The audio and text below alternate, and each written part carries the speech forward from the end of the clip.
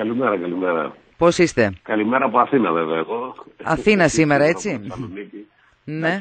Εγώ θα προσπαθήσω σίγουρα μέχρι την εβδομάδα του Πάσχα επειδή έχουμε έρθει τη Βουλή και έχουμε έστω πολύ ε, περιορισμένες αλλά με αρκετή ένταση και αν θέλετε πολλή δουλειά αυτές τις μέρες παρακολουθούμε πάρα πολλούς τομείς και στον τομέα ενέργειας και περιβάλλοντος πώς λειτουργούν τώρα στο πλαίσιο της πανδημίας δηλαδή, αλλά και τα θέματα υγείας. Είμαστε εδώ κανονικά, δουλεύουμε από το σπίτι βέβαια, με πλήρη εγκατάσταση υπολογιστές, τηλέφωνα.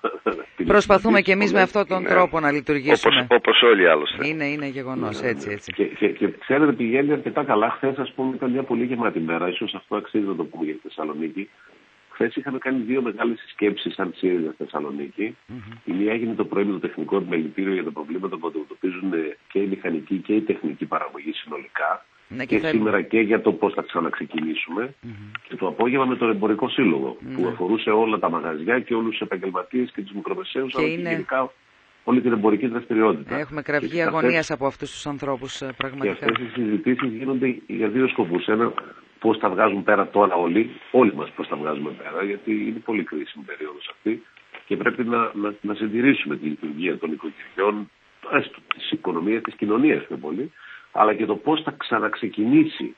Αυτό είναι η ανόρθωση, η επανεκκίνηση είναι κάτι πάρα πολύ κρίσιμο, όταν με το καλό βέβαια καταφέρουμε να κερδίσουμε τη μάχη αυτή. Γιατί προφανώς δεν θα παραβιάσουμε κανόνες όσον αφορούν περιορισμούς και λειτουργία της ε, κοινωνίας, αυτό θα είμαστε όλοι απόλυτα συνεπείς γιατί προέχει το θέμα της υγείας.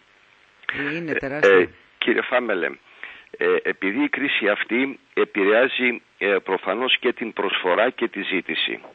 Ε, προσπαθεί η ελληνική πολιτεία από τη μια μεριά να στηρίξει τους εργαζομένους πληρώνοντας ένα μέρος της αμοιβή τους, από την άλλη προσπαθεί ε, να κρατήσει ζωντανές τις επιχειρήσεις ε, γιατί ο μεγαλύτερος κίνδυνος είναι ότι όταν τελειώσει αυτή η κρίση ε, αυτές οι επιχειρήσεις να μην αντέξουν και να κλείσουν και άλλα να μην έχουμε παραγωγή. Θεωρείτε τα μέτρα τα οποία έχουν ε, δοθεί είναι σε αυτή την κατεύθυνση, δηλαδή υποστηρίζουν αυτά τα δύο θέματα. Κοιτάξτε, νομίζω πρέπει να κάνουμε ό,τι γίνεται καλύτερο. Δεν θέλω να ξεκινήσω κατευθείαν με μια άρνηση επειδή ο κόσμος περιμένει να ακούσει κάτι θετικό και να μπορέσουμε να το στηρίξουμε. Να πω το εξής, να το πάρω από μια άλλη μεριά. Θα προτιμούσα να προσθέσω ορισμένα μέτρα παρά να, να, να αρχίσω την ε, κριτική. Σωστά. Σε τέτοια δύσκολη στιγμή, καλό είναι να προτείνουμε. Ε, ε, ξέρετε τι δεν μου αρέσει λίγο στην τακτική που ακολουθούμε σαν ε, Ελλάδα προς το παρόν στην οικονομία, ότι τρέχουμε λίγο πίσω τα γεγονότα. Δηλαδή, ε, το ότι ανά δύο μέρες οι υπουργοί ανακοινώνουν κάτι και βγαίνει ο Πρωθυπουργός πολλές φορές το κάνει λίγο πιο προωθημένο μετά την πίεση του κόσμου και το ξαναντροποποιούν, αυτό λίγο έχει μπερδέψει την αγορά. Το συζητάγαμε και χθες δηλαδή στις συναντήσεις που γίνανε. Αλλά να σας δώσω ορισμένα παραδείγματα τα οποία είναι έτσι αρκετά σημαντικά και ενδιαφέρουν τον κόσμο. Το πρώτο που θα έπρεπε να προσθεθεί επιπλέον για αυτές τις μέρες είναι το θέμα της πρόσβασης που πρέπει να έχουν τα μαγαζιά που πλήττονται, οι επιχειρήσεις που πλήττονται αλλά και τα νοικοκυριά στην ηλεκτρική ενέργεια, το φυσικό αέριο και το νερό. Αυτό για ένα περίεργο λόγο το έχει ξεχάσει η κυβέρνηση και θέλουν να τους υπενθυμίσουν. Εμείς κάναμε και επίσημη πρόταση σαν ΣΥΡΙΖΑ να περιληφθεί στα μέτρα. Το βλέπουμε σε άλλες χώρες, στην Ισπανία, στην Πορτογαλία, στην Ιταλία, που έχει δοθεί μια παράταση εξόφληση λογαριασμών αυτό μπορεί να μας βοηθήσει και στο να μην έχουμε αυτή τη μεγάλη συσσόρευση που είχαμε στις τράπεζες στην αρχή της εβδομάδας. Τι ακριβώς προτείνετε, ε, κύριε Φάμελε, γιατί ρωτούν και πολλοί λοιπόν, ακροατές. Ε, και ε, ο κόσμος... λοιπόν να υπάρξει το, όσο, όσο υπάρξει ο περιορισμός των μετακινήσεων, αυτό τώρα μάλλον αφορά σίγουρα τον Απρίλιο και δεν ξέρω τι θα γίνει για τον Μάιο, ε, να μην γίνει κάποια διακοπή ρεύματος, να μην γίνει κάποια διακοπή νερού και κάποια διακοπή φυσικού αερίου. Το πρώτο λοιπόν είναι να μην στερηθεί την πρόσβαση κάποιος από τα αγαθά. Παράδειγμα να σας πω, υπάρχουν επιχειρήσεις που έκλεισαν και ίσως έχουν ανοιχτά ψυγεία, λέω ένα παράδειγμα, ή κάποιο άλλο μέσο συντήρησης κάποιου προϊόντος ή κάποιου υλικού. Υπάρχουν άνθρωποι που είναι διαβητικοί και έχουν φάρμακα στο ψυγείο. Λέω τώρα ακραίες περιπτώσεις, ναι, ναι. που όμως είναι πραγματικές. Υπάρχουν ηλικιωμένοι που ε, φοβούνται να βγουν να μπουν στην ουρά να πληρώσουν λογαριασμούς γιατί δεν έχουν την τηλε, αν θέλετε, εξυπηρέτηση που έχουν οι υπόλοιπες ηλικίες. Δεν έχει ιδιαίτερη σημασία ίσω η αφετηρία. Καλό είναι σε αυτούς που έχουν ανάγκη να είναι σίγουροι ότι θα μείνουν σπίτι, είτε είναι ε, μικρομεσαίες επιχειρήσεις, μαγαζιά, επαγγελματίες ή και ε, τα σπίτια των ανθρώπων τα νοικοκυριά να μην κοπεί το, το, το νερό, να μην κοπεί το ρεύμα. Γιατί το λέω αυτό, γιατί υπήρξαν επιστολές και από τη ΔΕΗ και από άλλες εταιρείες σε ανθρώπους που εντάσσονται σε κοινωνικό τιμολόγιο, άρα σε ευάλωτες ομάδες, δεν μιλάω τώρα για ένα κανονικό νοικοκυριό ναι. που τα βγάζει πέρα, ε, και μάλιστα υπήρξε μια περίπτωση κάποιου χρόνια ασθενούς, ο οποίος είχε φάρμακο στο ψυγείο και υπήρξαν και χαρακτήρα να του κοπεί το ρεύμα. Εντάξει, αυτό είναι και ψυχολογικά αλλά και ουσιαστικά ένα μεγάλο ζήτημα. Τι προτείναμε λοιπόν γι' αυτό, να υπάρξει μια παράταση εξόφλησης. Όσο διαρκεί ο περιορισμός των κινήσεων, όχι παραπάνω. Σωστά. Να πάει εγώ δύο μήνες πίσω. Πόσο θα είναι, δεν νομίζω ότι είναι και το ζήτημα. Να μην υπάρξει καμία αύξηση στα τιμολόγια, διότι μάθαμε επίσης από μια άλλη πλευρά ότι θα υπάρχουν αυξήσεις σε τιμολόγια νερού σε κάποιους Δήμους εξαιτίας των αυξήσεων που έγιναν το Σεπτέμβριο στη ΔΕΗ και έχουμε κάνει καιρό στη Βουλή. Αυτή την περίοδο θα γίνει τέτοιο πράγμα; Δεν έγινε μέσα στον κορονοϊό ή εξαιτίας του κορονοϊού, αλλά έγινε η προετοιμασία, να το πω έτσι εγώ, τον Ιανουάριο και τον Φεβρουάριο και τώρα μπορεί να ψηφίζονται. Δεν, δεν λέω ότι κάποιος πήγε να τα αυξήσει τώρα, καταλαβαίνετε, θα ήταν ναι, ακραίο. Ναι, καταλαβαίνω, δεν, θέλω να χρεώσω κακή πρόθεση. Ναι, ναι, Λέω ότι πρέπει ως πολιτεία να προνοούμε για να στηρίζουμε τους συμπολίτες μας. Άρα ε, αυτό το θέμα, το να μην κοπεί κάποια ε, παροχή, να υπάρχει μια παράταση, μια, εξόφ, μια παράταση εξόφλησης.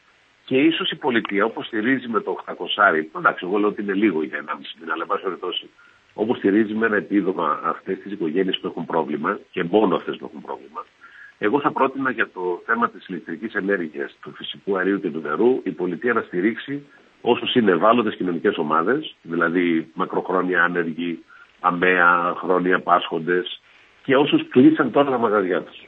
Και Δεν μια, για όλους. Και μια παράταση στην πληρωμή των λογαριασμών, κύριε Φάμελ, γιατί οι μισοί από αυτούς που βγαίνουν έξω, ναι, είναι πολύ σημαντικό αυτό. Αγχώνονται ιδιαίτερα οι μεγαλύτεροι σε ηλικία, δεν θέλουν να χρωστούν. Ναι. Εγώ παρακολούθησα και τα ρεπορτάζ, γιατί προφανώς δεν πρέπει να βγούμε εμείς και να δούμε τι γίνεται έξω στις ουρές, αλλά παρακολούθησα τα ρεπορτάζ και είδα ότι ήταν λογαριασμοί και ναι, ναι, ναι. ο νόμος Κατσέλη. Ναι. Ε, τα βασικά θέματα, λίγανε ρυθμίσεις και λογαριασμοί. Εντάξει, νομίζω ότι για δύο μήνες θα μπορούσε να υπάρξει και αντίστοιχη δημοσιονομική στήριξη. Δηλαδή για αυτούς που έχουν ανάγκη τώρα και δεν επιτρέπεται να βγουν τα σπίτια. Και μάλιστα άτομα υψηλού κινδύνου, νομίζω ότι πρέπει να υπάρξει στήριξη από την πολιτεία. Και θα σας πω και ένα δεύτερο περιστατικό. Ναι. ναι, ναι. Αν θέλετε, όχι, όχι, όχι, όχι, ολοκληρώστε, ολοκληρώστε. Μήπως θέλετε να τελειώσουμε αυτό το ζήτημα και ναι, ναι, ναι, ολοκληρώστε, ολοκληρώστε.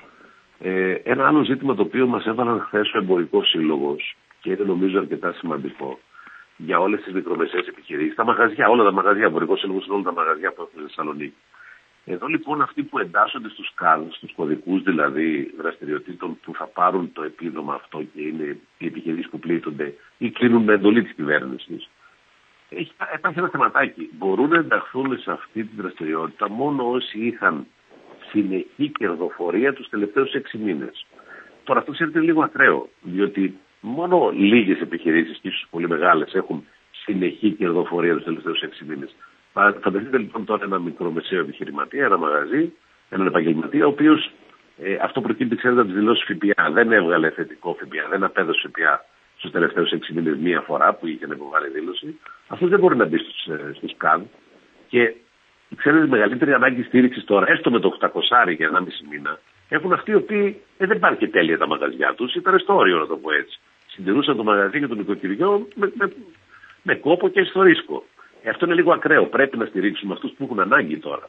Και δεν μιλάμε για φοβερά ποσά, μιλάμε για 530 ευρώ το μήνα, αν δεν κάνω λάθος. Τόσο βγαίνει το 800 στον 1,5 μήνα.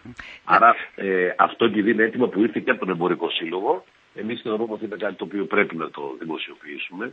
Ε, χρειάζεται να, να, να κάνουμε κάτι τέτοιο.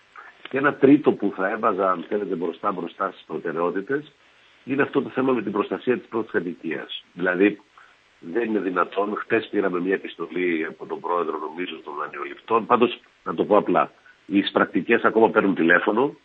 Οι τράπεζες ακόμα έχουν υψηλά ε, τέλη σε αρκετές υπηρεσίες της εξυπηρέτησης.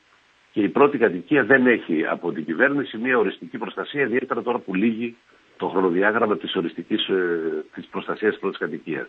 Οι ρυθμίσεις δηλαδή που υπήρχαν μέχρι τώρα. Νομίζω είναι ακόμα και τον Απρίλιο, αν δεν κάνω λάθος, ή πάντω είναι αυτό το μήνα. Νομίζω ότι σε αυτή την περίοδο θα πρέπει η κυβέρνηση να πάρει μια ρητή απόφαση που να δίνει προστασία στην πρώτη κατοικία, να μην γίνονται πληστηριασμοί, να μην γίνονται τηλέφωνα από εισπρακτικές και να περιοριστούν τα τέλη που έχουν στις διάφορες συναλλαγές τράπεζες. Ε, νομίζω από το Τριάδι πρέπει να είχα πρόσφατα ένα μήνυμα την προηγούμενη εβδομάδα για κόστος συναλλαγής 3 ευρώ για, για κάποια συναλλαγή ηλεκτρονική. Και λέει πολύ απλά ο πολίτης, μου λέτε να μείνω σπίτι και θα μείνω.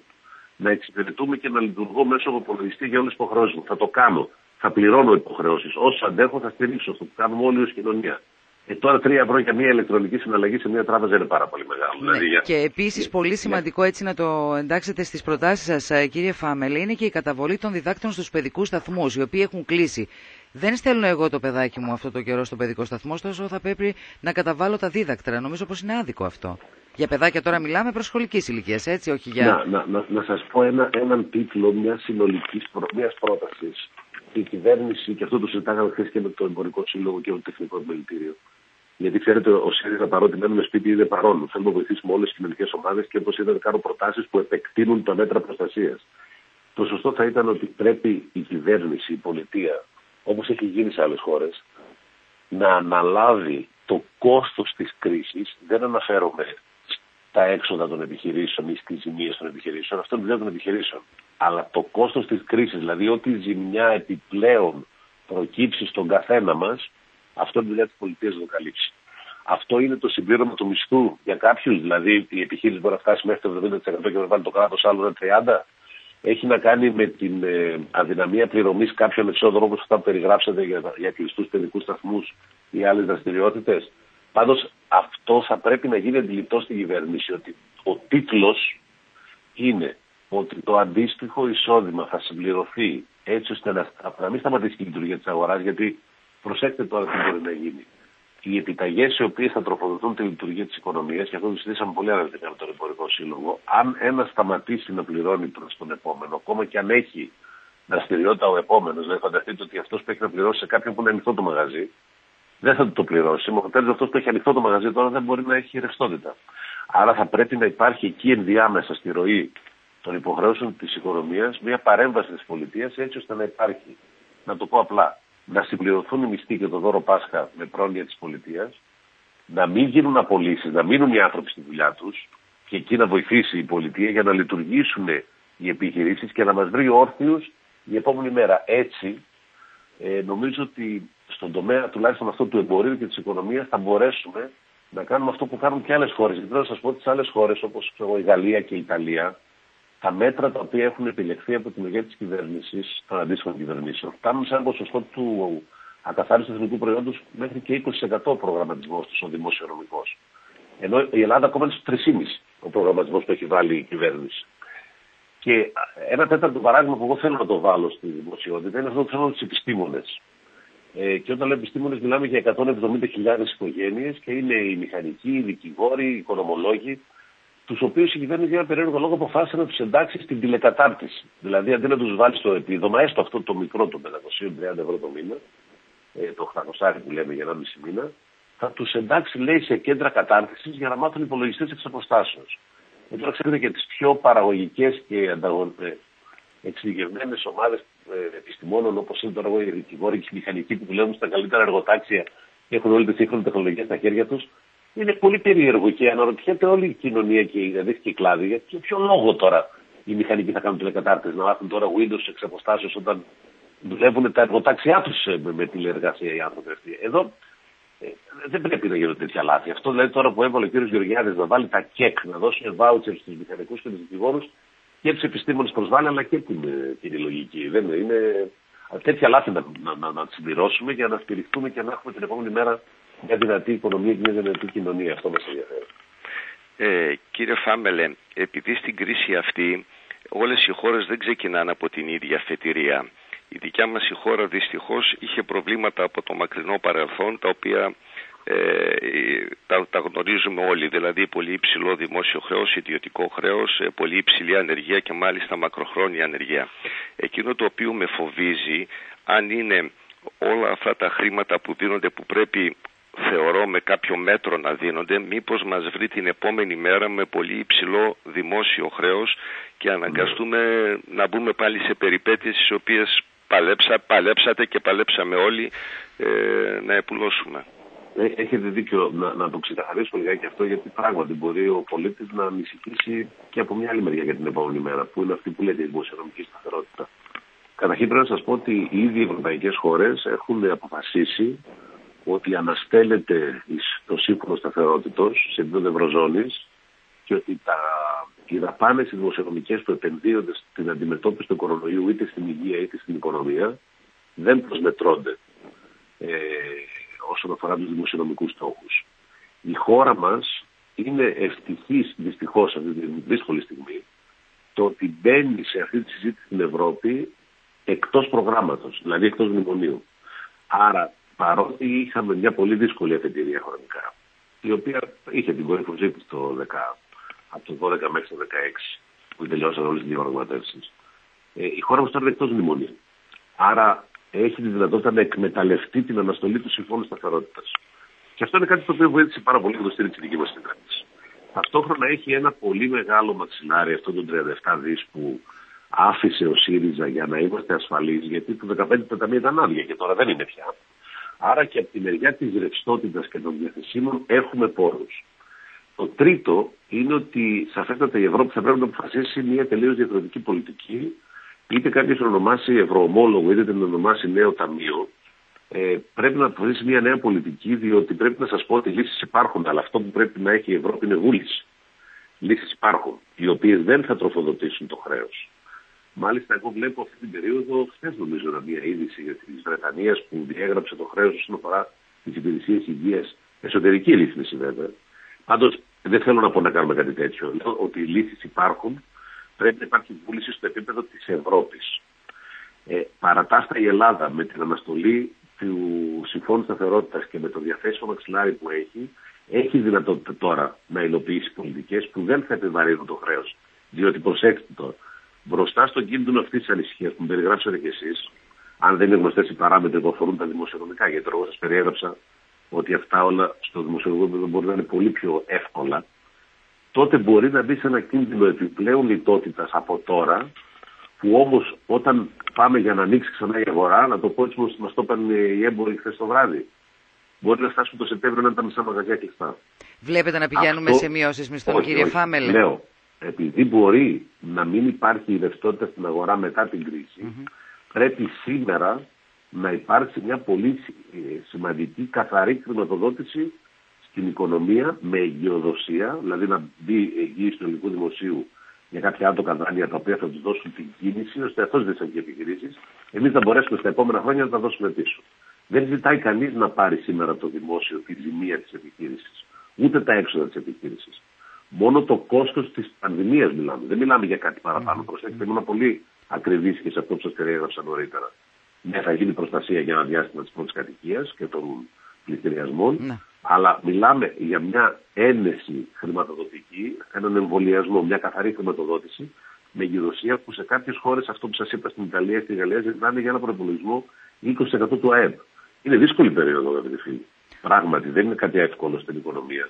Δυστυχώς. Για να μην υπάρξει λοιπόν αυτή η διακοπή χρηματορόμου που σας περιέγραψα νωρίτερα με τις επιταγές και έτσι ο ένας δεν μπορεί να χρηματοδοτήσει τον άλλο στην αγορά και όταν ανοίξει ξανά η οικονομία και η κοινωνία να μην μπορέσει να ολοκληρωθεί ο οικονομικός κύκλος, πρέπει σήμερα να, να πούμε αυτά τα απλά πράγματα. Να παρέμβει η πολιτεία στο να καλύψει το κόστος αυτής της περίοδου μόνο, αυτών των δύο μηνών δηλαδή μιλάμε, τη ζημία τη μη λειτουργία της παραγωγής και να καλύψει με την εγγύηση αυτή που σας είπα, την εγκυδοσία και την εγγύηση του δημοσίου, το θέμα της καταβολή ή της συμπλήρωσης μισθών και δώρου. Αυτό θα εξασφαλίσει την αγοραστική δύναμη έτσι ώστε να κυκλοφορήσει και να λειτουργήσει και το εμπόριο και η παραγωγή αμέσως μετά από το Μάιο, δεν ξέρω πότε μας πούν οι επιστήμονες ότι μπορούμε να βγούμε, για να είναι παραγωγικό το καλοκαίρι. Αλλιώς, φανταστείτε τώρα ότι μπορεί να, να βγουν εργαζόμενοι στην εργασία. Ε, μπορεί να υπάρξουν και περιστατικά μαύρης εργασίας ή εντάξει, μπορεί να υπάρχουν και παραβιάσεις στο εργατικό δίκαιο. Ναι. Καλό είναι λοιπόν να εξασφαλίσουμε ότι δεν θα χρησιμοποιηθεί αυτή η περίοδο για να πάμε προς τα πίσω. Δηλαδή τώρα, αν, αν τυχόν εφαρμοστεί αυτή η ρύθμιση του 50% που νομίζω ότι κανείς δεν το θέλει. Ούτε οι επιχειρηματίες θέλουν αυτή τη ρύθμιση να δουλεύουν οι εργαζόμενοι το μισό και να πληρώνουν το μισό. Διότι ξέρετε αυτό θα κόψει και την αγοραστική δύναμη το μισό. Δηλαδή και στον έμπορο αυτό σημαίνει ότι δεν θα πουλήσει αύριο κάτι, διότι ο εργαζόμενος δεν θα έχει λεφτά να αγοράσει. Δεν έχει να κάνει μόνο με το πώς θα πληρώσει τον εργαζόμενό του, έχει να κάνει και με το πώς θα λειτουργήσει το προϊόν του μετά στην αγορά. Σωστά. Σας ευχαριστούμε άρα, θερμά, κύριε Άρα, άρα έχουμε... εδώ πέρα ναι, λοιπόν ναι. πρέπει να βοηθήσουμε να υπάρξει αυτή η καθαρή χρηματοδότηση και η υγειοδοσία που σε αυτό ακόμα δεν έχω ακούσει την τελική πρόταση της κυβέρνησης και αυτό νομίζω θα ήταν κάτι ενδιαφέρον για να το προσθέσουμε. Σας ευχαριστούμε θερμά κύριε Φάμελε.